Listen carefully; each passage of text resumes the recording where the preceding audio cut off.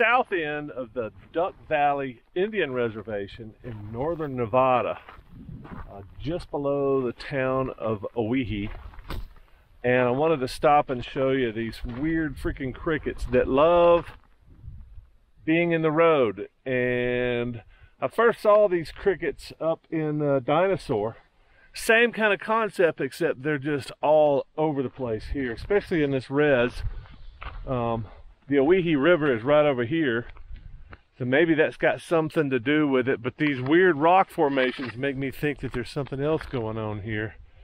Uh, I'm almost thinking this is a holy place, but let me show you the crickets up close. As you can see, the crickets are all over the place. In fact, there's so many that they're turning the road this purplish brown color, and the smell is very vivid.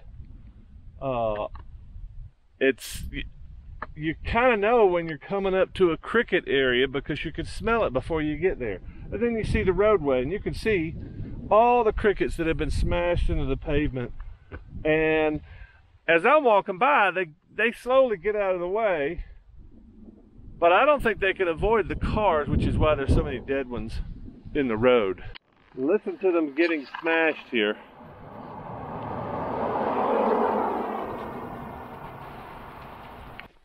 What's really interesting is to see these crickets eating their own. That's what they're out here doing. Is they're getting smashed because their friends have gotten smashed and they're just sitting there devouring them. So I guess that's kind of something like uh, a few of us die so others can live. I, am not really sure what's going on here. All I can see is that it's clearly this is food, so they're eating their brother's bug guts. Yeah, this guy's jumping off, but he's not jumping off without his meal, which is his buddy. Could be one of his relatives. We don't really know. Yeah, he's not going to get out of the road real fast. He's going to take his lunch with him. I mean, I've been there. but you can see how mashed into the pavement these guys are. And your gut instinct, especially if you're on a motorcycle, is to slow down and maybe get out of the mess.